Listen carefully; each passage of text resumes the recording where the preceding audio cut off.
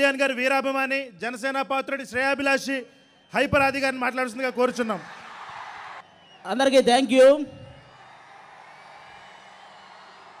ప్రజలకి మంచి చేయాలనే ఆలోచన తప్ప మోసం చేయాలనే ఆలోచన లేని రాజకీయ నాయకులతో నిండిన సభను నేను ఫస్ట్ టైం చూస్తున్నాను. అందరికీ ధన్యవాదాలు సార్ ఇక్కడ ఉన్న వాళ్ళందరికీ. నాకు తెలిసి ఈ సభకు వచ్చిన ఈ జనాన్ని చూసి ఇప్పటికే కొంతమంది కుళ్ళుతో చచ్చిపోయి ఉంటారు. వాళ్ళ కోసం ఒక్క సెకండ్ మౌనం పాటించండి చాలు. అయిపోయిందా? పవన్ కళ్యాణ్ గారు ఈ ప్రపంచంలో ఎలాంటి పదవైనా కొన్ని సంవత్సరాలు కష్టపడితే దక్కుద్ది. కానీ పవన్ కళ్యాణ్ అనే పదవి దక్కించుకోవడం ఎవడి వల్ల కాదు. ఆయన స్థాయి వేరు ఆ స్థానం వేరు. ఒక సినిమా వాడిగా మాట్లాడడానికి ఇక్కడికి రాలేదు. జనసేన సిద్ధాంతాలు నచ్చి ఆ పార్టీలో నేను కూడా ఒక అభ్యర్థిలాగా మాట్లాడడానికి వచ్చాను ఈరోజు. ఇక్కడికి వచ్చిన ఎవరైనా సరే మందు బాటిళ్ళ మీదో బిర్యానీ ప్యాకెట్ల మీదో ఆశ కలిగి వచ్చిన వాళ్ళు కాదు. వాళ్ళ భవిష్యత్తు మీద భయం కలిగి వచ్చారు. పవన్ కళ్యాణ్ గారి మీద నమ్మకంతో వచ్చారు. మీ నమ్మకాన్ని వంద పర్సెంట్ ఒమ్ము చేయకుండా న్యాయం చేసే బాధ్యత పవన్ కళ్యాణ్ గారిది. ఇక పవన్ కళ్యాణ్ గారిని కామన్గా విమర్శించే కొన్ని మాటలు. రెండు చోట్ల ఓడిపోయాడు ఓడిపోయాడు ఓడిపోయాడు ఓడిపోయాడు. అరే ఓడిపోతేనే ఇంతమంది కష్టాలు తీర్చాడంటే గెలిస్తే వాళ్ళ కష్టం కాంపౌండ్ వాళ్ళు దాటకుండా చూసుకుంటాడు. రికార్డులు కొల్లగొట్టడానికో ఆస్తులు కూడబెట్టడానికో సినిమాలు ఒప్పుకునే వాళ్ళని మీరు చూసుంటారు. కానీ కౌలు రైతుల కష్టాన్ని తీర్చడానికి సినిమా ఒప్పుకున్న హీరో పవన్ కళ్యాణ్ గారు. ఆయన ప్రజెంట్ ఆస్తి ఎంత ఉంటుందో తెలుసా? నాకు తెలిసి ఈ స్టేజ్ మీద మిగతా నాయకుల కంటే తక్కువే ఉంటుంది. ఎందుకంటే వచ్చింది వచ్చినట్టు పంచుకుంటూ వెళ్ళడమే కానీ డబ్బులు పెంచుకుంటూ వెళ్ళే మనస్తత్వం ఆయనకు లేదు. డబ్బు మీద ఆసక్తి లేని వ్యక్తి రాజకీయాల్లోకి వస్తే ప్రభుత్వం నుంచి వచ్చే ప్రతి రూపాయి ప్రజలకే ఖర్చు పెడతాడు. అలాంటి వ్యక్తి గురించి ప్రెస్ మీట్లు పెట్టి బూతులు. ఏమయ్యా మీకు ఈ శాఖ ఆ శాఖ ఈ శాఖ ఇన్ని పేర్లు ఎందుకు? పవన్ కళ్యాణ్ గారిని తిట్టే శాఖ అని ఒకటి పెట్టుకోండి. పెట్టుకొని కంటిన్యూగా తిట్టండి. శాఖల పరువు తీస్తున్నారు. మీకు మీ శాఖ గురించి ఒక్క పది నిమిషాలు చెప్పమంటే పదో సెకండ్లోనే దొరికిపోతారు మీరు. నాకు ఈజీగా తెలుసు అది. వారాహి బండి ఆ యాత్ర ఆపేస్తారంట వీళ్ళు. ఆయనకి తిక్కర ఎగితే పాదయాత్ర చేస్తాడు. అప్పుడు ఖచ్చితంగా మీరు కాశీ యాత్రే.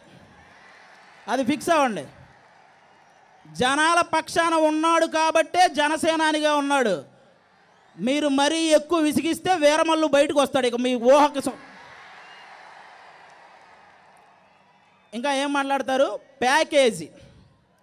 అరే పవన్ కళ్యాణ్ అనే వ్యక్తి ప్రేమకు లొంగుతాడు కానీ డబ్బుకు లొంగడరా మీ ఇష్టం మీరేమనుకుంటే అది. ఇంకోటి ఏంటి దత్తపుత్రుడు దత్తపుత్రుడు. ఓకే. ఏ నోటితో అయితే మీరు దత్తపుత్రుడు అన్నారో అదే నోటితో అంజనీ పుత్రుడని అనిపించుకోకపోతే పవన్ కళ్యాణ్ గారు చూడండి మీరు చూస్తారు ప్రపంచంలో ప్రతి ఒక్కడు పవన్ కళ్యాణ్ గారి గురించి ఒక మాట అనేసి పాపులర్ అయిపోదామని. మీ పాపులారిటీ కోసం ఆయన పర్సనాలిటీ దెబ్బతీసేలా మాట్లాడారా? ఈసారి జనసేన కొట్టే దెబ్బకు మీ అబ్బ గుర్తొస్తాడు చూసుకోండి. ఇంకోటేంటి? నిలకడలేని రాజకీయం. మీరేమో బిజినెస్లు చేసుకుంటూ రాజకీయాలు చేయొచ్చు. ఏ బిజినెస్లు లేని ఆయన సినిమాలు చేసుకుంటూ రాజకీయాలు చేయకూడదా? ఎవరిది నిలకడలేని రాజకీయం? టేబుల్ మీద భారతదేశం బొమ్మ పెట్టి టేబుల్ కింద బారడు చేయి పెట్టి లంచాలు దండుకునే మీది నిలకడలేని రాజకీయం. అభివృద్ధి పనుల గురించి మాట్లాడిన ప్రెస్ బీట్లో అమ్మనాభూతులు తిట్టే మీది నిలకడలేని రాజకీయం. అసలు నూట యాభై ఒక్క మంది ఒక్కడి ముందు ఆ నిజాయితీని తట్టుకోలేక భయపడడం రాజకీయం కాదు తెలుసుకోండి.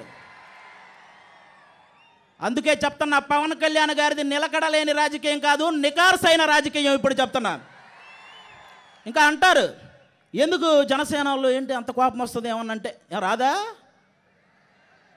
మీ ఇంటికి ఆయన పెళ్ళికి వస్తే మీకు గౌరవంగా ఉంటుంది అనుకునే మీరు ఆయన గౌరవానికి భంగం కలిగించేలా మాట్లాడితే కోపం రాదా? ఆయనతో ఒక్క ఫోటో దిగితే చాలని డోరు దగ్గర నిలబడి లేదు ఆయనే నాతో ఫోటో దిగాడంటే కోపం రాదా?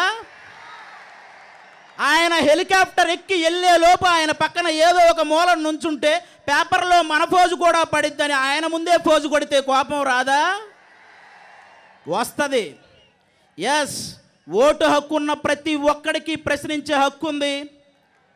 గెలిచిన ప్రతి నాయకుడికి సమాధానం చెప్పాల్సిన అవసరం ఉంది. అలా కాదు నేను గెలిచాను ఎక్కేస్తా తొక్కేస్తా అంటే ఇదిగో ఇలా మనసులో ఉన్నవన్నీ గక్కేస్తా. రెండు వేల ఇరవై నాలుగులో గాజు గ్లాసు మీద నొక్కేస్తా.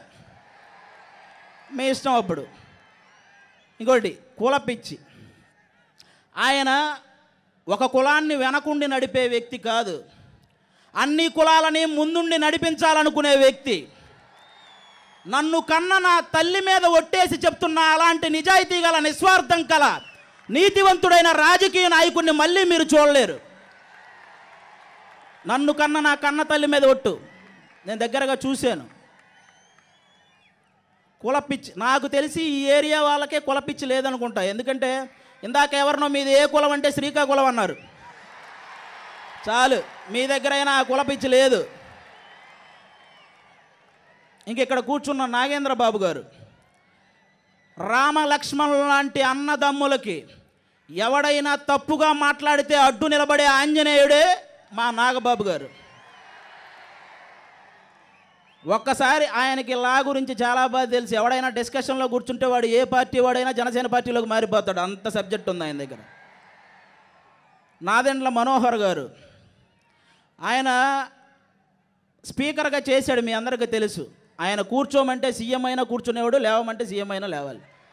అలాంటి రాజకీయ పండితుడు పవన్ కళ్యాణ్ గారి పక్కన ఉన్నాడంటే ఆయన నిజాయితీని గమనించండి ఒకసారి. పవన్ కళ్యాణ్ గారి నిజాయితీని గమనించండి. ఇక కార్యకర్తలు వైసీపీ కార్యకర్తలైనా టీడీపీ కార్తలైనా జన జనసేన కార్యకర్తలైనా మీరందరూ కూడా మీరు మీరు గొడవ పడకండి నాయకుల గురించి. ఎందుకంటే రేపొద్దున మీకు ఏదైనా అయితే ఒక ఓటు పోయిందని బాధపడే నీచమైన రాజకీయం కంటే ఒక ప్రాణం పోయిందని బాధపడే పవన్ కళ్యాణ్ గారు లాంటి రాజకీయాన్ని ఈసారి మీరే చూడాలి. ప్రతి ఒక్కడికి ఒక గోల్ ఉంటుంది. అలాగే నాకు కూడా ఒక గోల్ ఉంది. పవన్ కళ్యాణ్ గారి నోటి వెంట ఈ మాట వినాలనుకుంటున్నాను. శ్రీ కొనిదెల పవన్ కళ్యాణ్ అనే నేను ఆంధ్రప్రదేశ్. ఆ తర్వాత ఏంటి? అది చూడబోతున్నారు. థ్యాంక్ యూ సో మచ్ జై జనసేన జై పవన్ కళ్యాణ్ గారు జై హింద్. పవన్ కళ్యాణ్ గారిది ఒక్కటే విన్నపం. ఇక్కడి నుంచి ఎవరైనా వెళ్ళేటప్పుడు వాళ్ళకి చిన్న గాయం తగిలినా ఆయన మనసుకు చాలా పెద్ద గాయం తగిలిద్ది. కాబట్టి మీరందరూ జాగ్రత్త వహించి ఒక్క చిన్న గాయం కూడా చేసుకోకుండా మీ ఇంటికి మీరు వెళ్ళాలని మనస్ఫూర్తిగా కోరుకుంటున్నాను. Thank you thank you so much thank you